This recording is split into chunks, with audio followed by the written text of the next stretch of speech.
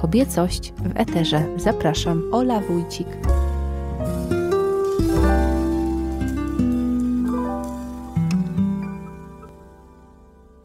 Jesteśmy na wernisażu wystawy Filipa Fortunata Kurzewskiego Opowieści z Królestwa. Znajdujemy się w promie kultury i przed nami cały wieczór pełen niezapomnianych wrażeń. Serdecznie zapraszam.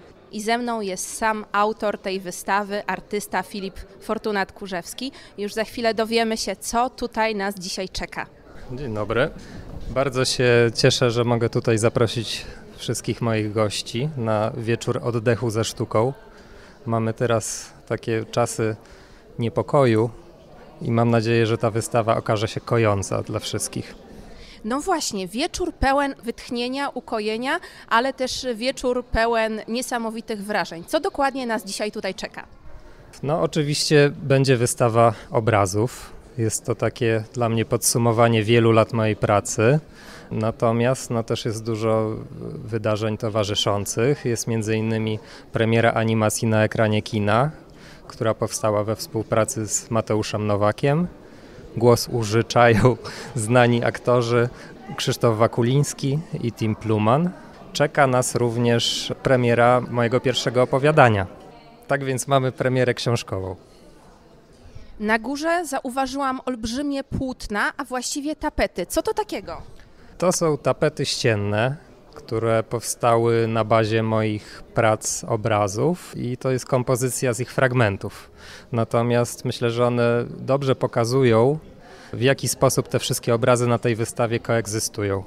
Bo cała ta wystawa jest to kreacja baśniowego królestwa, którą też ująłem w mojej książce. Wspaniały wieczór przed nami. Pozostaje nam na niego serdecznie wszystkich zaprosić. Zgadza się, zapraszam do baśniowego królestwa. O wrażenia z wystawy postanowiłam zapytać zgromadzonych gości. Fantastyczny ten świat taki bajkowy i niesamowity, królewski. Bardzo mi się to podoba. Ja w ogóle uwielbiam grafikę i to, co uprawia Filip. Znaczy znam go w ogóle bardzo dawno, bo już od szkoły podstawowej, więc wiem, jak jego się talent rozwijał też, bo pamiętam jego dinozaury, które rysował jego mama według tego tkała gobeliny swoje. No i potem śledzę ten jego rozwój cały czas.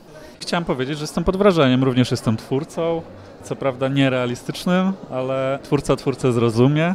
Jeżeli chodzi o tą architektonizację jakby całej przestrzeni, narrację, no to to jest po prostu super, z ogromnym rozmachem, także samemu twórcy bardzo gratuluję, jestem pod wrażeniem naprawdę dużej, solidnej roboty przy organizacji tego projektu. Ciężko jest mi policzyć wszystkie obrazy, które się tutaj znajdują, ale jest ich bardzo dużo, naprawdę robi to wrażenie.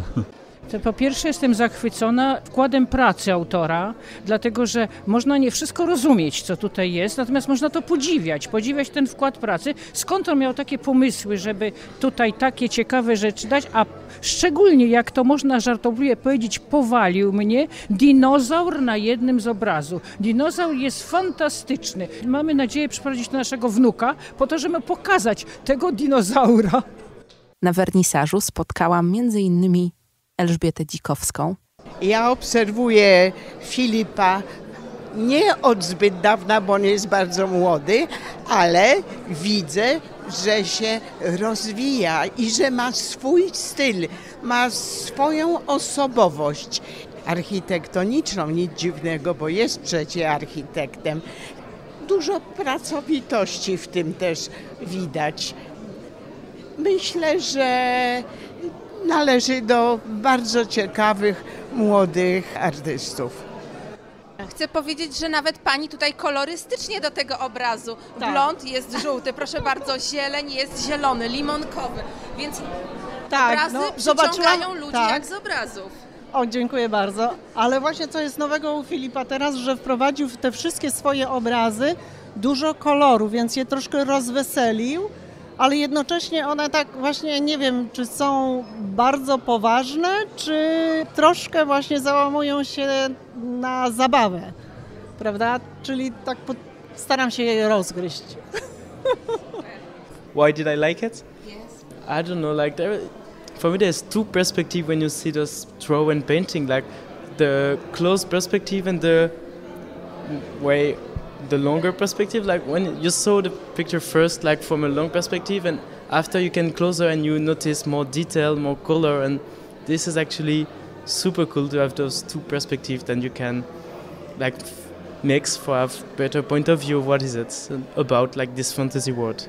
Taka ilość form, taka ilość kolorów i tak jak myśmy tutaj rozmawiali, że niektóre obrazy wydają się jakby płynęły albo frunęły Nie, ale nawet. uruchamia się przede wszystkim wyobraźnię, fantazję. Ja na przykład jestem przekonany, że gdyby tu małe dziecko przyprowadzić i, prosić go o opisanie tego obrazu, to właściwie jest nieograniczone możliwości interpretacji tego obrazu, prawda? Niby się motywy powtarzają, a każdy jest jednak niepowtarzalny. Bajkowy świat, absolutnie bajkowy. Zdecydowanie, tak, zdecydowanie to robi wrażenie, prawda? Poza tym ta ilość detali, szczegółów w ogóle tutaj, prawda, które są, to, to jest po prostu zdumiewające, że w ogóle można tyle rzeczy na jednym obrazie przedstawić. Czy dla Państwa jest to pierwsze zetknięcie z twórczością Filipa? To znaczy, ja już muszę powiedzieć, że ja tu w tejże samej sali byłem, jak on pierwszy raz tutaj, ale to już było z 8 lat temu. No a ja w ogóle powiem, że Filipa uczyłem w liceum matematyki w ogóle. To jest mój uczeń, to jest mój uczeń, więc w ogóle ja też jestem właśnie dumny, że w ogóle praktycznie no, każdy mój uczeń no, przerósł mistrza, jest kimś w życiu. No to tak, matematyka na Wydziale Architektury myślę, że się przydała Filipowi. Mam nadzieję, że się trochę przydała, natomiast ponieważ ja jestem trochę taki matematyk humanista i Filip też jest taki właśnie, że jest z jednej strony inżynierem, tak ale z drugiej strony tą duszę ma artysty, którą zawsze taką miał. Dlatego, że ja go pamiętam w szkole, to oczywiście był uczeń. Jeszcze wtedy nie znałem go od tej strony, od strony twórczości, ale już miał w sobie właśnie coś takiego fascynującego w ogóle. Także myślę, że jego fantazja, jego wyobraźnia, jego e, wrażliwość, no to to już jest e, właśnie od dziecka się kształtowało. Czyli nie ściągał na matematyce? Ja sobie takiego faktu nie przypominam. profesora się nie ściąga. Zdecydowanie. Twórczość Filipa Kurzewskiego obserwuje także Stan Borys. Nie jestem w stanie nadążyć za nim. Niesamowita fantazja i w ogóle wizja jego. No i co mogę powiedzieć, jak on przecież zrobił mój obraz w stylu fantazji. Moją twarz. Także zamierzam gdzieś tę twarz ukazać w jakimś lepszym stanowisku niż jestem teraz, ale podziwiam go. Filip jest wspaniały i teraz dowiedziałem się, że napisał książkę, no to już to rozwój jest cudowny. Niektóre obrazy już znam, a niektóre też widzę są nowe. I w ogóle jego, jego sztuka mi się bardzo podoba, bo ja właśnie lubię takie trochę odjechane, ciekawe, futurystyczne przedstawienia, które właśnie on wymyśli i też nie wiedziałem, że on w ogóle też pisze, bo to są jego akapity, rozumiem? To jest bardzo ciekawe. Ach, co to był za wieczór. Cóż za wspaniałe, artystyczne doznania. A kiedy emocje po wielkim wernisażu nieco się już uspokoiły, zaprosiłam Filipa na krótką rozmowę do studia. Dwa dni temu miało miejsce otwarcie Twojej wystawy Wielki Wernisaż opowieści z Królestwa. Tę wystawę będziecie mogli oglądać w Promie Kultury Saska Kępa. Jak po tym wydarzeniu, jak się po nim czujesz? Wczoraj miałem taki dzień regeneracyjny, że tak powiem. No ja się wcale nie dziwię. Duże przedsięwzięcie i też olbrzymi sukces. Aha, no mam nadzieję, bo to nie jest pierwsza moja tego typu impreza. Już parę takich dużych wernisaży miałem i zawsze scenariusz jest podobny, mianowicie rozpoczyna się wernisaż i później się nagle okazało, że ten wernisaż się skończył, a ja nie wiem, co się wydarzyło, bo po prostu cały czas z kimś rozmawiam i jest strasznie dużo bodźców. To ludzie często też tak po ślubach mówią. No, no właśnie, no ja tak sobie powoli zaczynam układać w głowie. Mam dostać niedługo materiał wideo, to wtedy będę mógł zobaczyć tak naprawdę, co się działo na tym wernisażu. I zdjęcia też właśnie dzisiaj mam zgrać, więc ja to tak, te wernisaże to oglądam później z relacji. No bo życie artysty to w ogóle chyba składa się z takich cykli, trochę jak, tak sobie pomyślałam, jak świat natury, że tam jest ten cykl, którego nie widać, jakieś soki krążą w korzeniach roślin, a później dopiero zakwitają kwiaty.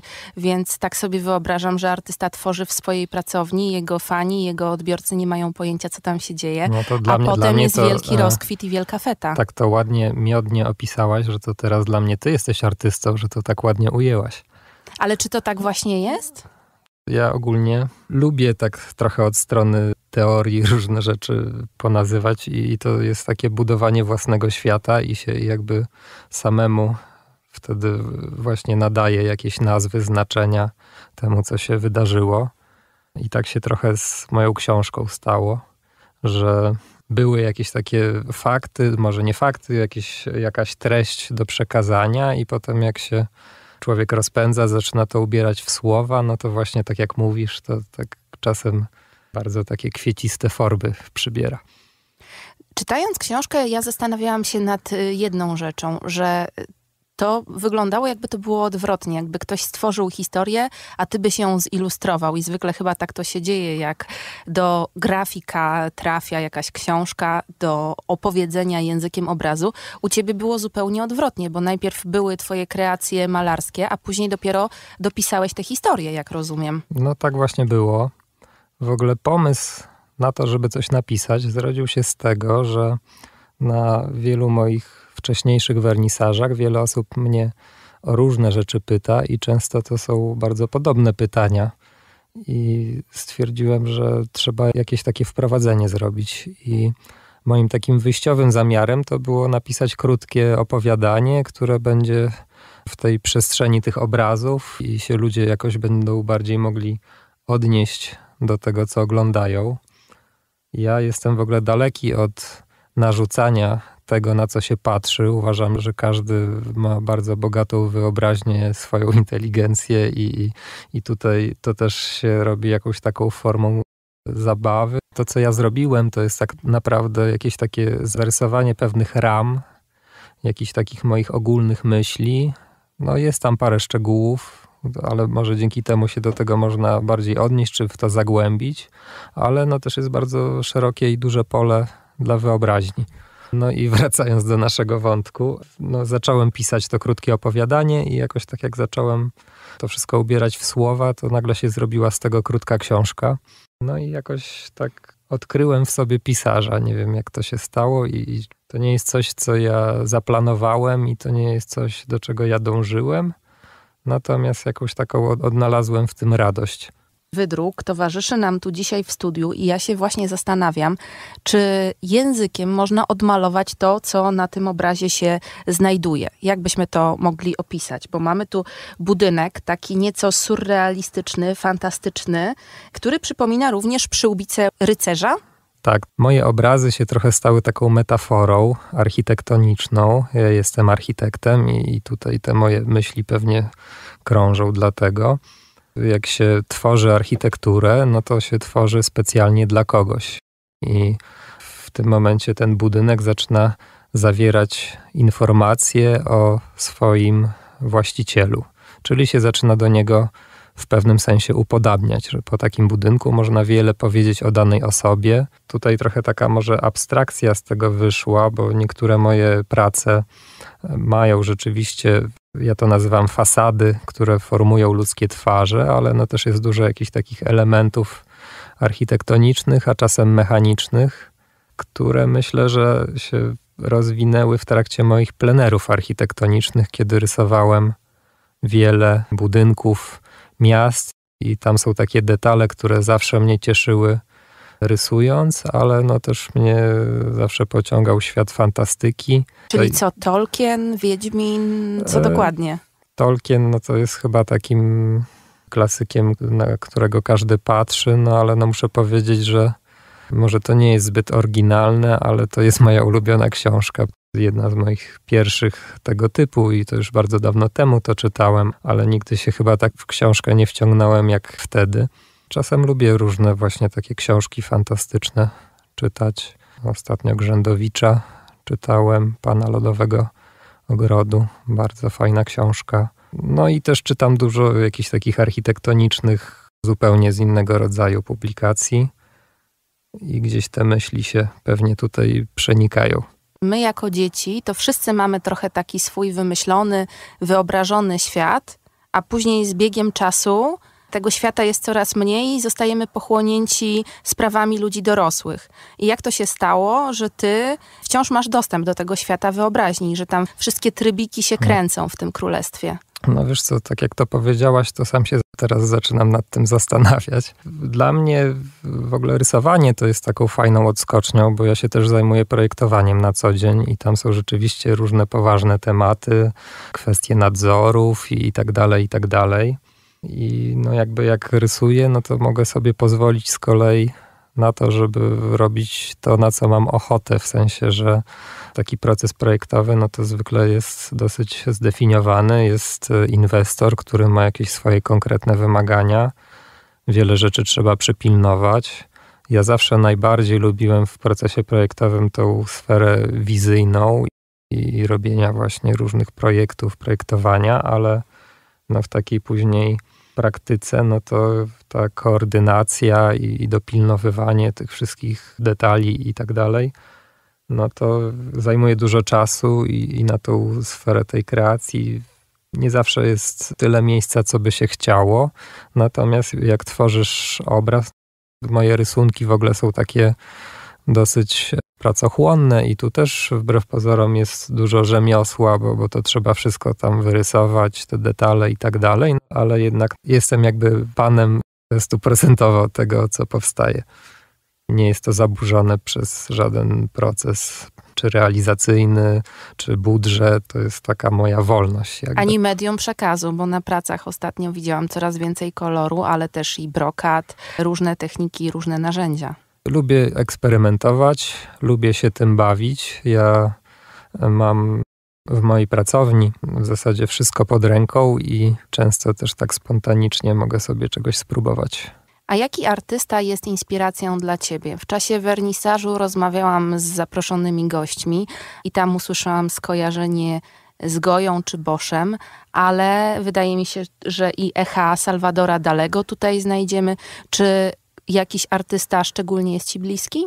Ja w ogóle doceniam bardzo wiele osób, natomiast mam też taką selektywną uwagę, że niekoniecznie zawsze to jest jakiś konkretny artysta, są czasem jakieś konkretne obrazy czy formy, które zwróciły moją uwagę.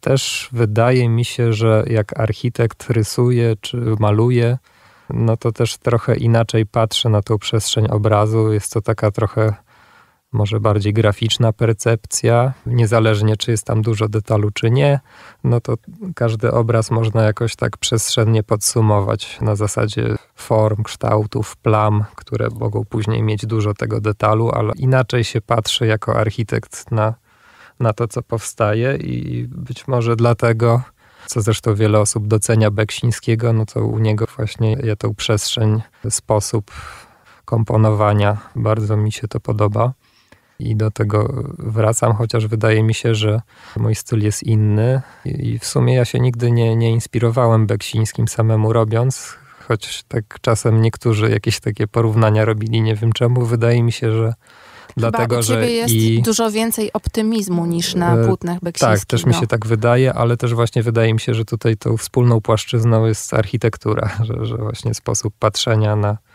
na tą przestrzeń obrazu. A czy kiedykolwiek zetknąłeś się z tym, jak twoje obrazy odbierają dzieci?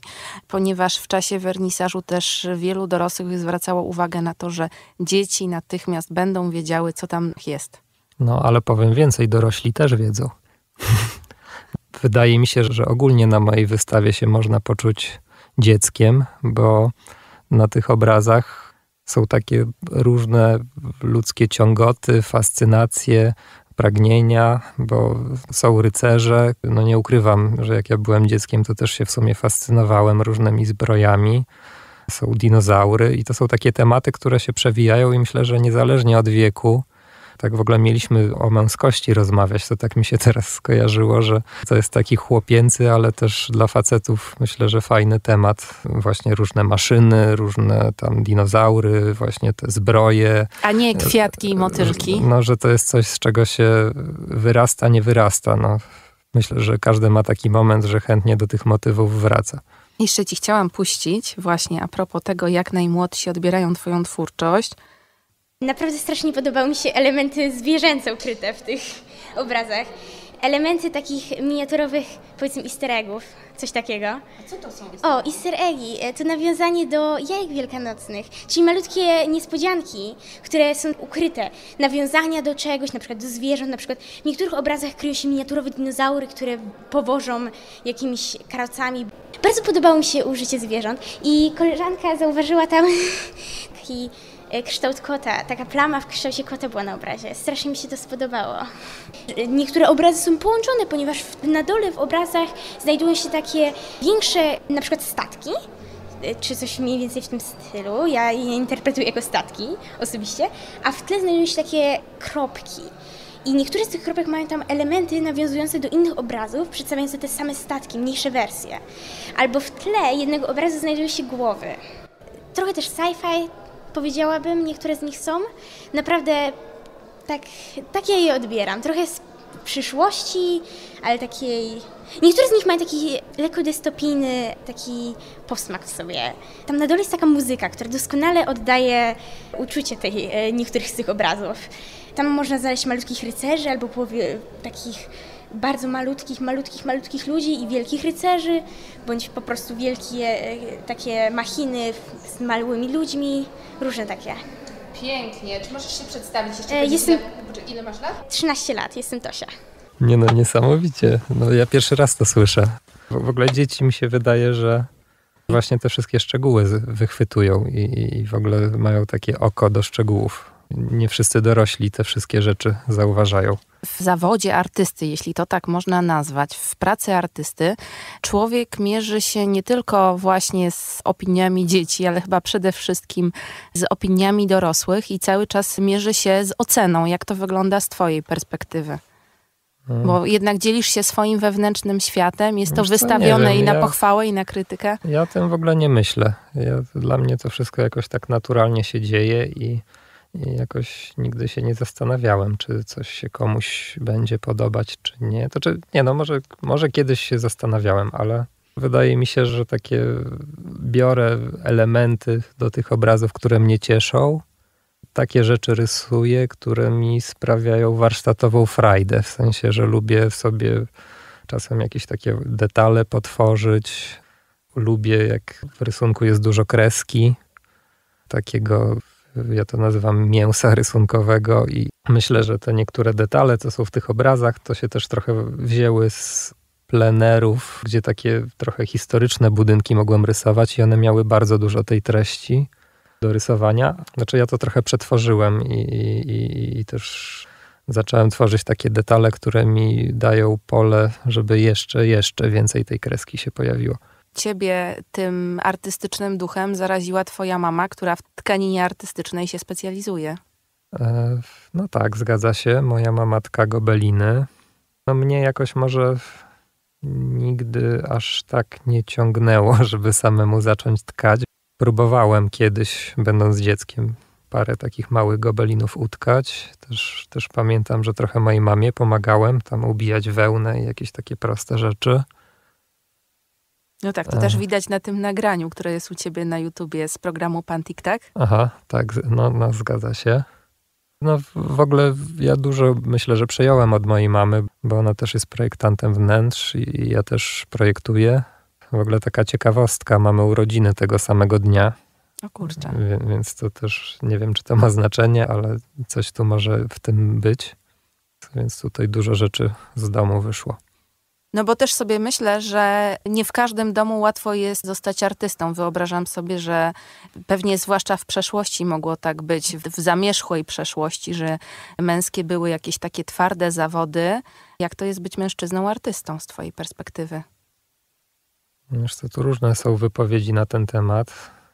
Jest też taka znana, że artystą się bywa. Natomiast też mi się wydaje, że to nie jest jakaś kariera, którą tak można zaplanować, bo po prostu sztuka powinna być szczera i wychodzić z ciebie. I, i to się po prostu dzieje. Czyli coś, czego nie da się gdzieś tam zamknąć pod kloszem, zdusić w sobie, tylko po prostu to się wylewa. Jak ta Mm. opowieść i książka, która się sama napisała. No, ja w ogóle sam się dziwię, że ją napisałem, tak mówiąc szczerze. A tak jakoś wyszło. Ogólnie wydaje mi się, że jakaś taka siła przekazu tego, co się robi, no to ona jest tylko w tym momencie, kiedy to jest szczere. Jak się coś na siłę stara zrobić, no to tego efektu nie ma po prostu.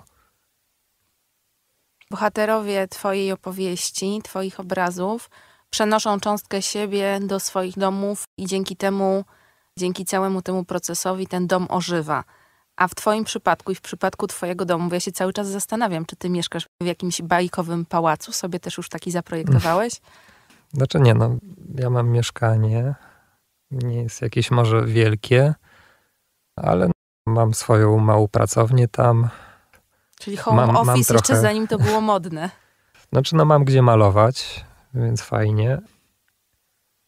Ja w ogóle lubię wnętrza i architekturę nowoczesną jednak, chociaż powiem, że bardzo takie historyczne motywy też doceniam i ostatnio nawet się zreflektowałem, że coraz bardziej, że tak jak kiedyś projektowałem tylko nowoczesne rzeczy, to teraz nagle zaczynają mnie Pływające hotele. tak, też. To teraz mnie nagle zaczynają te klasyki cieszyć i, i w moim mieszkaniu no to jest dużo takich prostych mebli skandynawskich powiedzmy, a wśród tego są jakieś tam małe wstawki, trochę historyczne. Na przykład przypadł mi fotel po moim pradziadku i, mam właśnie taki historyczny fotel. Mam też historyczny zegar i ten zegar zresztą się w mojej książce pojawił. Może on działa jak wehikuł czasu. No, To w jakie czasy byś się wtedy przeniósł, gdybyś miał taką możliwość? Znaczy ja to chyba w, w przeszłość tak nie zaglądam. Jeśli chodzi o historię sztuki, no to jednak mnie te czasy antyczne bardziej interesują, więc to mogłoby być ciekawe, tak sobie móc zajrzeć. No i Egipt i, i nawet w sumie jeszcze wcześniej. Twoja wystawa wisi w Promie Kultury Saska Kępa. Co będzie dalej? Jakie masz następne plany artystyczne? Mam plan, ale znaczy no może jeszcze nie będę go ujawniać. Bardzo czekam na moment, żeby się moim kolejnym przedsięwzięciem zająć, ale tak tajemniczo może na razie to przemilczę, Na koniec zapytam, czego ci życzyć w takim razie? żebym się mógł dalej realizować.